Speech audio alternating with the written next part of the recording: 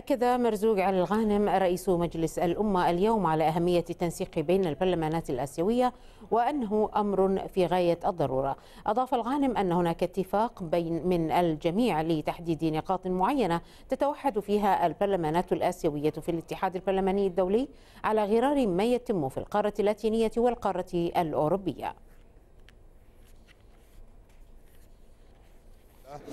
اليوم كان افتتاح مؤتمر البرلمانات الآسيوية تحت شعار السلام والتنمية وهما اسمان متلازمان.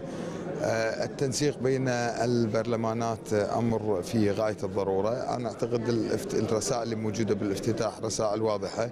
ما لم يتم التنسيق في قارة آسيا مثل ما يتم في مختلف قارات العالم. لن تكون القارة مؤثرة.